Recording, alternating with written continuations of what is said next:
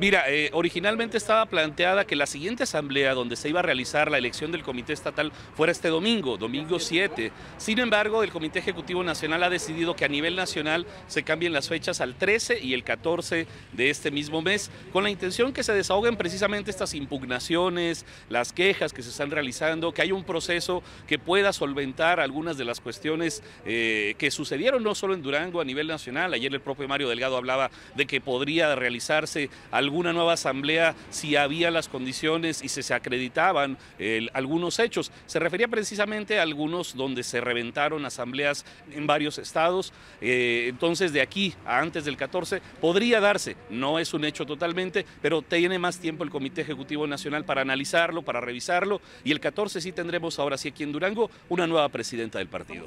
Precisamente, son 20 mujeres las que fueron seleccionadas, Milton, esta pasada asamblea. Se comenta que Marina Vitela pudiera ser la dirigente estatal, pero ¿hay más opciones?